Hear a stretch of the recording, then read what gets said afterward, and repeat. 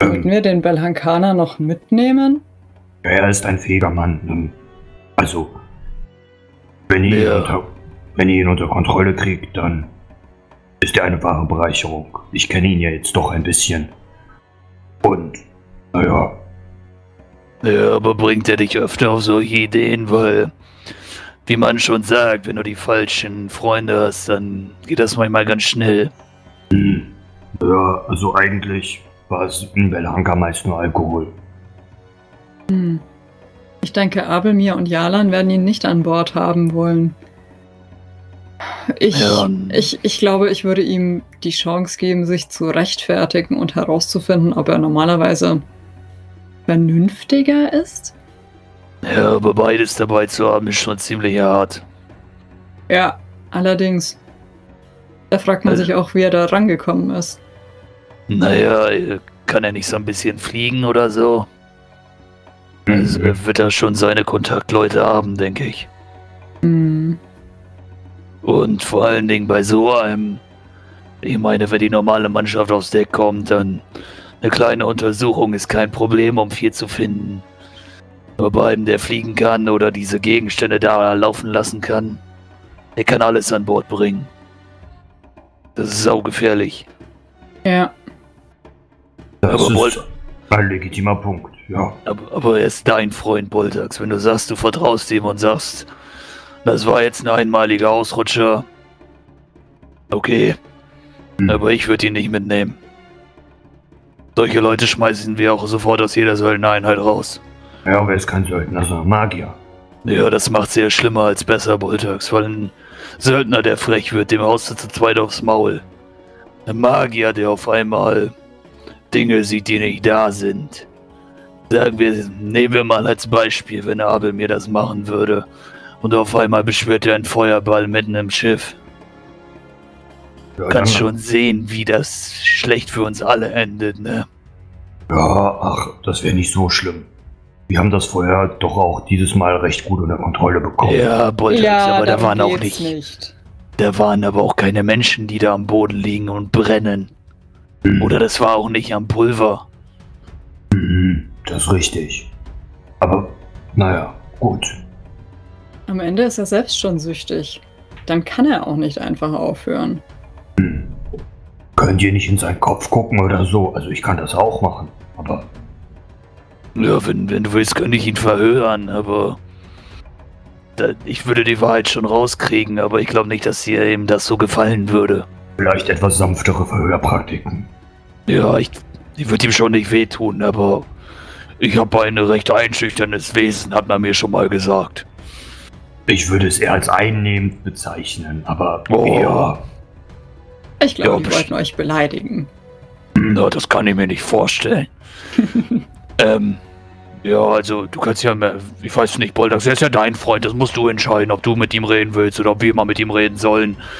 Aber, Hm, das- ja, also, das können, kann er nicht machen.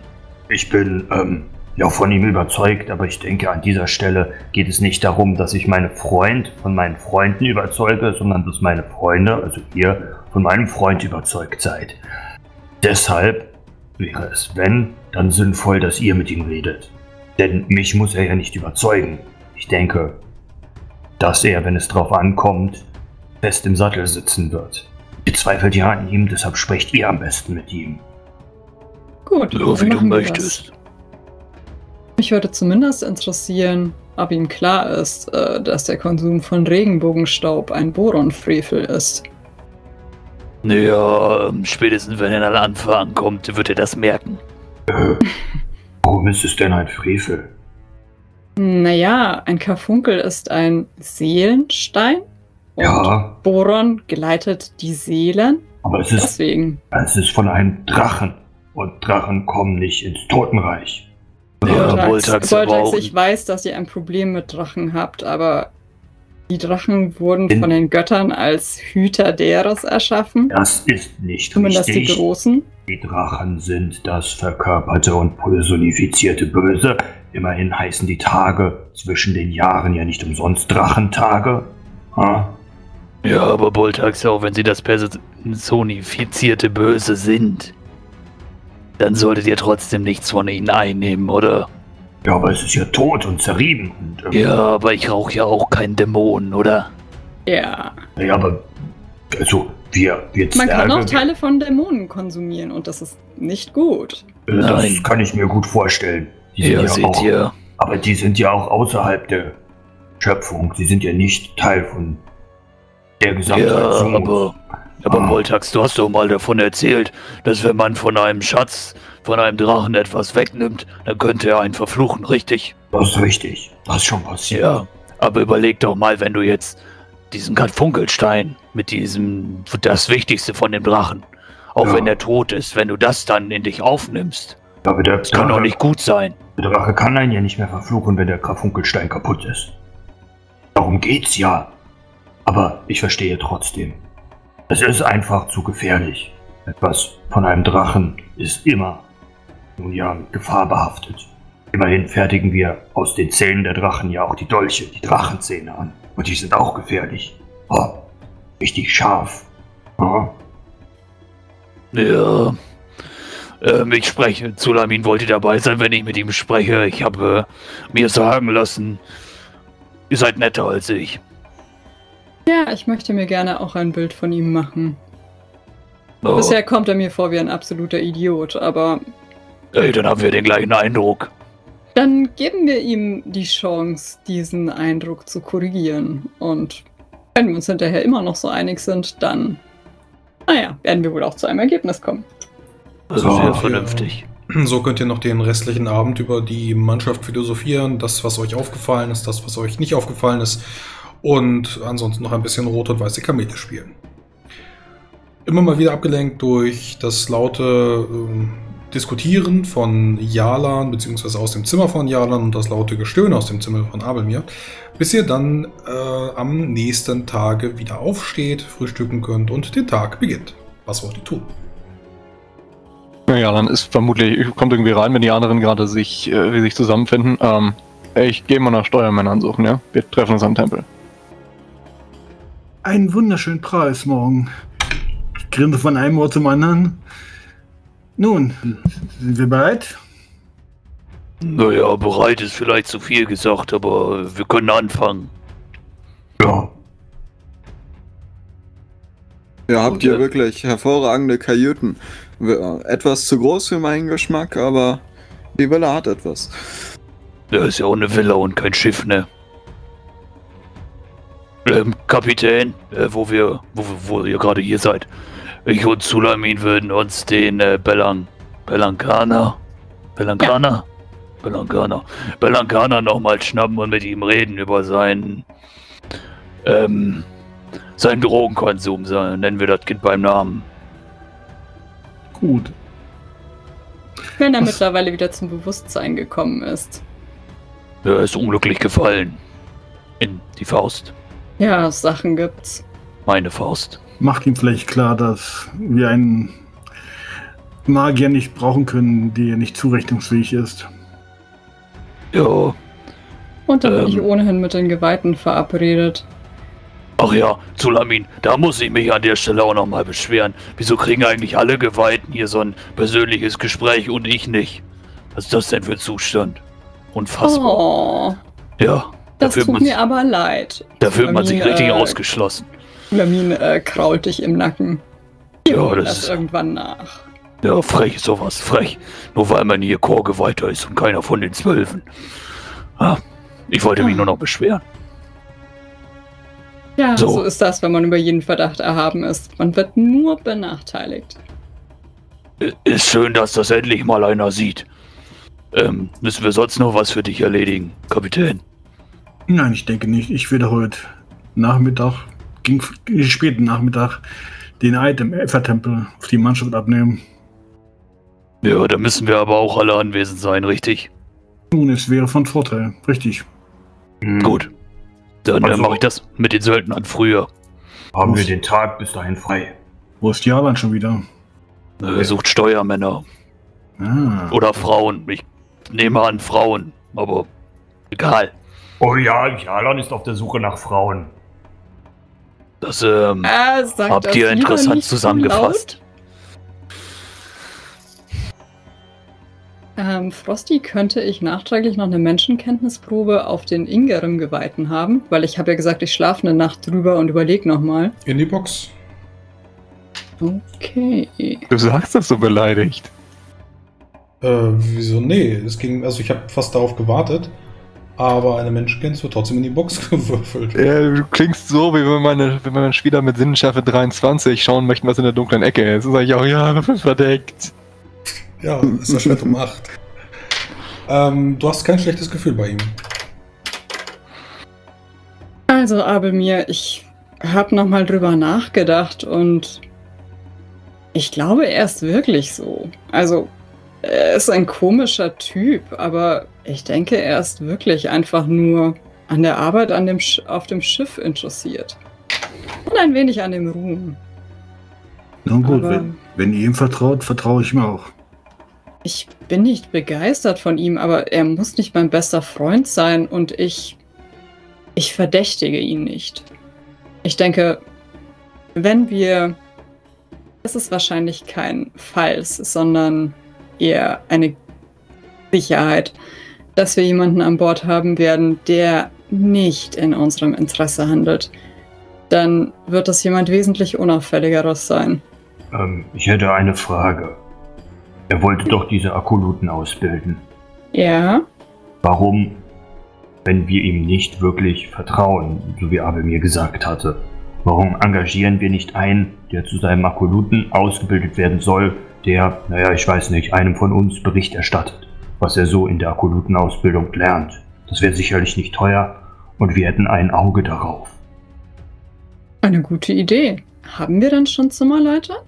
Ja, aber wäre es nicht sogar noch besser, wenn unsere überraschend charmante Raya-Geweihin einfach ein Interesse an Ingrim gefälligen Tätigkeiten entwickelt und einen von ihm ausgewählten jungen Mann, junge Frau, wie auch immer, Interesse heuchelt. So haben wir keinen Spion platziert, aber kriegen trotzdem alle Informationen und ist viel unauffälliger. Ich weiß nicht, ob ich dafür die Zeit finden werde. Ich glaube nicht, dass das so lange dauert. Also ich würde mich anbieten, aber ich glaube nicht, dass ähm, mir jemand besonders viel erzählen würde. Und wir sollten auf jeden Fall an Groschminia Bescheid sagen, denn auch wenn sie nicht groß zusammenarbeiten werden, werden sie doch gemeinsam die Werkstatt benutzen. Das heißt, sie sollte eigentlich viel von dem mitbekommen, was er tut. Ja, ein sehr guter Punkt, ein sehr guter Punkt. Äh, ja, genau. äh, Ich kann mit äh, Angoschmenia sprechen. Ähm, immer mal wieder. So äh, über den Ingrim-Geweihten. Das ist, das ist eine gute Idee. Das, das, das klingt doch nach einer sehr guten Überwachungsmöglichkeit. Wenn Ja. Boltax dann regelmäßig dahin geht, sind wir immer informiert. Mhm. Oh, sehr gut.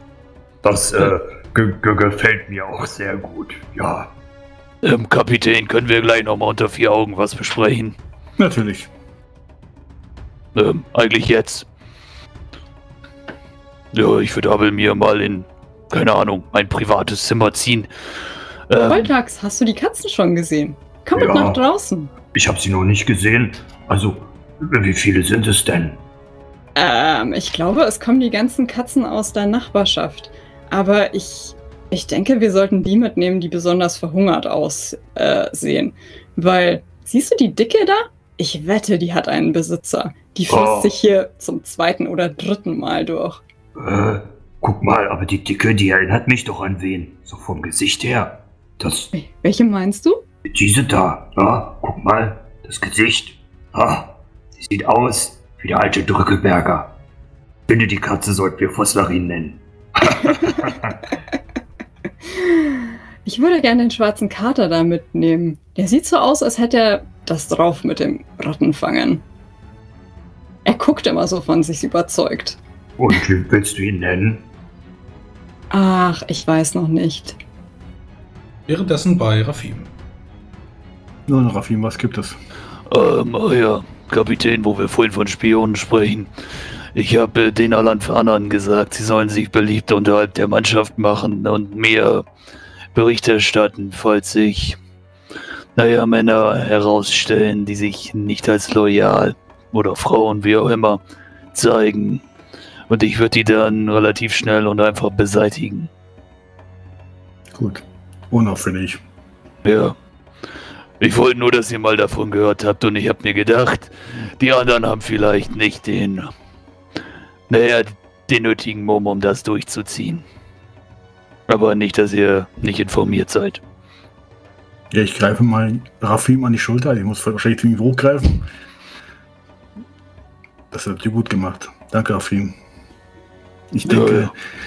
ihr habt ein ähnliches Misstrauen wie ich. Ich glaube, der Feind ist schon an Bord. Ich fürchte, Ja, mit Sicherheit. Den Alanfanern können wir trauen, aber den Alanfanern können wir natürlich nur so weit trauen, wie wir auch Alan vertrauen. Weil sie sind ihnen loyaler als mir. Und als euch. Da bin ich mir sicher. wir werden sehen, wer das schwarze Schaf ist. Ja, ich vermute, dass es entweder. Ich vermute nicht, dass es die Matrosen sind. Sie sind zu niedrig. Irgendwas Höheres, denke ich. Naja, und dieser Aaswolf, ich, den kann ich auch noch nicht einschätzen. Den sollten wir echt mal unter. unter. Den sollten wir beobachten. Und ihr diente schon an der Gezeitenspinne. Ja. Ja, Jalans alte Freunde kann ich eh schwer einschätzen. Aber ihr kennt sie besser als ich, vielleicht wisst ihr mehr. Er ist ein echtes Ärgernis, aber ich glaube, man kann ihm trauen. Na, mal, mal schauen, wie sie es nach dem Vertragseinschwören heute im äh, Ronra-Tempel begibt. Ich denke nicht, dass da irgendjemand Blut aus seiner Nase läuft. So offensichtlich werden sie nicht sein. Aber vielleicht haben wir ja Glück. Und wir werden sehen. Lass uns zurückgehen. Ja. Gut, so könnt ihr euch den Vormittag noch etwas unterhalten, bis ihr dann in Richtung der Kirche des Effort geht. Ich würde den Vormittag damit umgebracht haben, nach Steuermännern zu suchen. Also diverse Hafenkneipen abgeklappert und mit Versprechungen von, von Heldenmut und vor allem ähm, Anwerbeboni, also irgendwie, keine Ahnung, Monatslohn oder so, äh, versucht haben, dann auch Leute klarzumachen. Ich weiß nicht, wie Serafim die Torwaller niedergebügelt hat. Könnte es sein, dass es hier zu Konflikten kommt. Dann wird sich natürlich auch noch der ein oder andere bei dir bewerben. Äh, Der große Pulk ist heute nicht los, weil heute dann eben nicht derjenige Tag äh, ist, den ihr auf eure äh, Ausschreibungszettel geschrieben habt. Aber ähm, dir wird nach einiger Zeit, äh, werden dir zwei Personen gewesen. Und zwar sowohl ein Steuermann als auch eine Frau, die gerne bei euch mitmachen mag und in den letzten zwei, drei Tagen auch äh, nachgefragt hatte mehrfach. Bei dem Steuermann äh, handelt es sich um einen äh, ja, wind- und wettergegerbten, äh, also du kannst ihm tatsächlich sehen, dass ihm die See ins Gesicht geschnitten hat. Er hat einen Dreispitz auf dem Hut, wenn er hier so sitzt, ein, äh, eine elegante Fliege um den äh, Hals gebunden und äh, wartet dort gerade mit einem Wein. Die Frau derweil, du kannst erkennen, wie sie wohl braune Haare hat, um die 30 Jahre, eine Schuppenrüstung, die sie trägt und ja, Wetterkleidung, würdest du sagen. Blicke die beide. Ich nehme an, sie stehen zusammen da irgendwo. Ähm, nee, der eine sitzt an Ja. dem einen Tisch und die andere sitzt an einem anderen Tisch. Er trinkt Wein und sie trinkt äh, Wasser. Und dann setze ich mich zu ihm erstmal hin. Ja, hier seid ihr. Ah, guten Tag, die Götter mit euch. Und mit euch. Nun, es ist schön, dass ich euch doch noch gefunden habe. Ich hatte gehört, ihr wollt das Steuermann anheuern. Zumindest bin ich einer. Nun, wo habt ihr gedient? Nun, äh, in verschiedensten Häfen, äh, zuletzt in Festum. Festo. Ihr seid weit weg von zu Hause dann. Was denkt ihr, wo ich herkomme? Schau ihn ein wenig an. Er kann ihn vermutlich nicht so gut einordnen. Sieht mittelreichisch aus. Ja, es kann vieles sein, es ist ein Zucker mit den Schultern. Nun, nicht aus Zorgan, so viel ist mir sicher. Äh, Das ist richtig. Aber wer zur See fährt, der wird viele Häfen sehen und ich war auch schon in der Anfang. Torwald selber habe ich noch nicht gesehen. Im Horasreich war ich auch noch nicht, aber die Perlenmeerküste habe ich auf alle Fälle angefahren. Ihr könnt mich Dottore nennen. Oder? Und ihr könnt mit großen Pötten umgehen? Nun, äh, von einer Zedrake, äh, Potten, Kocken, ich habe schon eigentlich alles gesegelt, auch wenn mir die kleineren nicht so sehr lieb sind. Also wenn ihr jetzt mit einer Lorcha anfangt, dann würde ich es vorziehen, hier zu bleiben. Ich denke, das wird sich einrichten lassen. Nun, hervorragend, ihr seid angeheuert. Das ging schneller als erwartet. Äh, Was fahrt ihr, wenn ich fragen darf? Eine Schivone. König Shivona, Gangora. Königsschivona. Davon gibt es hier wenig, aber es gibt einige Elemente, die ähnlich sind zu denen, die in Festungen gebaut werden. Nun, äh, verzeiht mir, dass die Sache ein wenig zügig vonstatten geht. Wir haben eine gewisse Not, was Steuermänner angeht. Nun, ich bin gern dabei. Hervorragend. Ihr solltet euch äh, etwa in zwei Stunden im Effer-Tempel einfinden. Er nickt, trinkt sein Wein aus und geht. Dann setze ich mich noch zu der Frau. Weil wie gesagt, die direkt von ihm zu ihr rüber, glaube ich. Sie wird das vermutlich beobachtet haben. Mhm. Sie hat einen sehr aufmerksamen Blick. Hm? Effert und die Götter mit euch. Ebenso. Ich nehme an, eurer Aufmerksamkeit entnehme ich, dass ihr den größten Teil der Unterhaltung mitgehört habt. Dem ist so. Ich bin zwar keine Steuerfrau, doch ich würde mich trotzdem gerne dem Ganzen anschließen. Und dies interessiert mich. Was seid ihr? Jägerin. Mein Name ist Hyvilla Marix Fuchsecker und ich bin die Magistratin aus Perikum. Mein Vater sagte, dass ein dass es von Vorteil sein könnte, wenn wir gemeinsame Sache machen und ich kann eventuell den einen oder anderen Magistraten in Perikum davon überzeugen, dass man äh, den Status äh, von euch als Gesuchten aufhebig macht. Wahrhaftig. Das klingt interessant. Nun, Und ihr wollt also was anheuern? Nun, als Schützin würde ich einfach sagen. Äh, zwar nicht mit den Großen, aber wenn ihr Pfeil und Bogen bereitlegt, Armbrüste, all das habt ihr Schützen. Derzeit nicht. Wir gedenken in Konchombecher anzuheuern. Sollten sich welche finden. Gut. Ich bin mir sicher, eure zweifellose Expertise in diesem Feld. Ich blicke nochmal irgendwie in ihren Schuppenpanzer herab. Wird uns, wird uns das sicherlich zugutekommen. Nun, wie gesagt, ich bin zwar Magistratin, aber auch äh, Jägerin. Großes Wild, kleines Wild. Das ist meine Leidenschaft. Ihr kennt vielleicht meinen Bruder, er war vor kurzem im aventurischen Booten. War Oh, Marix. der. Genau, der, der Händler. Er hat, er hat einen Konvoi aufgebracht, nicht wahr?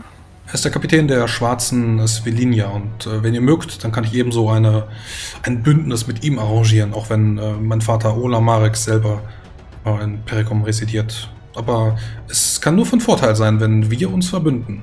Zu einer großen Perikumer Kabale. Nun, auf alle Fälle, sollte sich die Gelegenheit ergeben, wäre ich doch sehr dankbar, würde ich uns gegenseitig vorstellen. Nun gut, ihr könnt anheuern, wenn ihr wollt. Findet euch im Effer-Tempel ein, dort werdet ihr die Einzelheiten erfahren. Sie nickt. Übrigens ist mein Bruder Iodor ebenso Magistrat. Wahrhaftig. Unsere Familie hat also viel Einfluss in Perikum. Es kann nur von Vorteil sein. Wahrhaftig ruhmreiche Familie. Wir können uns glücklich schätzen, euch an Bord zu haben. Ich bedanke mich. Ich tippe dann nochmal den Hut, äh, trinke meinen, meinen halben Humpen Bier aus. Eile von dann, es gibt viel zu tun. Treffe dann vermutlich im Effer-Tempel oder so wieder zu den anderen. Mhm. Möchtest du während der Zeit auch noch eine, ein kleines eigenes Schiff für dich gekauft haben? Wenn ich die Zeit habe, ja, ansonsten hätte ich das heute Nachmittag gemacht. Gut, dann mach das heute Nachmittag. Möchten die anderen in der Zeit noch irgendwas tun? Ja, gut, keine Ahnung, wir. Egal. Äh, Äh. ja, ich lasse mir von Abelmir noch den äh, Schuldschein ausstellen. Mhm. Äh, wird um die 200 Dukaten sein, was ich für steht schon im Forum. Munition, äh, ein paar Peitschen, da die offensichtlich vergessen wurden. Und äh, holen mir dann einige unserer Seemänner, um diese dann auf das Schiff zu verladen. Ja, Hasswolf hat noch draufgeschrieben, lange Piken, denn das war ihm wohl auch sehr wichtig. Er hat sich unglaublich noch darüber aufgeregt, dass es keine langen Piken gab, um die Leiche äh, aufzuschneiden. Ja, äh, wird dann direkt mitge mitgenommen. Wie viele? Also zehn Stück. Fände ich jetzt passend. Ich meine, wenn da keine Anzahl draufsteht, haben wir zumindest erstmal zehn zur Hand. Ja. kann Also man- kann man natürlich auch zum, zum Entern benutzen, ähm, zum, zum Ranziehen oder zum Abdrücken. Das würde eben auch funktionieren. Fehlten bisher, damit könnt ihr halt nicht die ganze Mannschaft ausstatten, aber zumindest äh, zehn Krieger. Wäre es möglich, hier auf dem Basar Gwenfetrülsteine zu erstehen? Ähm, kleine. Also alles, was größer als Faust ist, ist sowieso verboten. Nee, aber nee, ich, ich meinte so- kleine. Ja, genau, so, so daumengroße Gwen Petrus-Steine kannst du erstehen. Ist Ja, natürlich dann- teuer wie Sau, aber geht. Ich, ich würde aber so ein paar, dass ich ein hübsches Collier daraus machen kann. Ja. Ich, Würfel mal eine Klassenwissenprobe, Boltax. Äh, Ich hab das, glaube ich, nicht, aber Schlecht. das ist ja egal. Ja, ich kann ja aber auf jemanden zurückgreifen, der das hat. Nein, ähm, ich hab's auf zwei. Schauen wir mal. Ja. Während du das kaufst, wird dir wohl auch mehr oder weniger ähm, kommt das Gespräch auf die Meisterin der Brandung, die wohl im aktuell im hiesigen Effa-Tempel weilt. Und zwar ist das Corena Mondreios. Und die ist zwar im Kriegshafen, aber sie war früher äh, Fischerin in Janka. Und ist erst seit dem Fall des Tempels in Janka äh, hier Meisterin der Brandung für den Golf von Perikum, äh, beziehungsweise für, den, für, die, ja, also für diese Großregion und weilt zurzeit in Zogan. Oh, das ist äh, sehr interessant. Meisterin der Brandung, also. Ah. Ja, ja, die hat, die hat noch größere, habe ich auch gesehen. Oh. Die hat so große, ähm, so, so Funkelsteine. Uiuiuiui. Wusste gar nicht, dass die so heißen. Ben Petrol, sagst du? Benpetrol heißen die, ja. Okay. Nee, ich habe die einfach nur als Funkelsteine hier im Sortiment. Ja, und sind auf jeden Fall auch sehr funkelig. Ähm, ist schon in Ordnung, wenn man die Funkelsteine nennt. Oh, und diese Meisterin der Brandung. Ah. Ja, ich bin Boltax von der Brandung, also macht es Sinn, dass ich sie treffe. Nein, ist ja nicht richtig. Ich guter bin, Witz, haha. ich bin Boltax von den Wogen. Das, das war ein kleiner Witz. Aber ähm, im Kriegshafen sagst du. Äh, ich, ich weiß es nicht genau, also sie ist halt entweder im Effa-Tempel oder im Kriegshafen. Ja gut, das klingt doch äh, schon mal gut. Dann ähm, werden wir äh, sie vielleicht mal aufsuchen. Ähm, vielen Dank, das war sehr aufschlussreich. Ich, ähm, Viel Spaß mit dir- den Funkelsteinen. Dankeschön, dir noch äh, einen erfolgreichen Verkauf. Ja, Ah. danke. Ja, und dann würde ich zurück zu den anderen gehen. Ja, Ich würde, ich würde auf die Liste noch irgendwie Enterhaken und Dutzend Ja, aufschreiben. Enterhaken kannst du auch kaufen. Nehmen wir mal an, die gehören zur Schiffsausstattung. Nicht unbedingt. Ihr habt das Schiff leer bekommen. Ich werde jetzt nicht nachschauen, was Enterhaken. Okay, ich schaue noch, was Enterhaken kosten. Ja, fünf Silber oder sowas.